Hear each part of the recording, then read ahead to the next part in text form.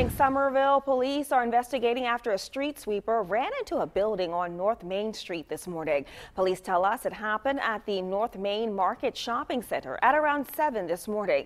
We're told the car ran into the building between the Papa John's and La Hacienda. No details yet on the driver's condition.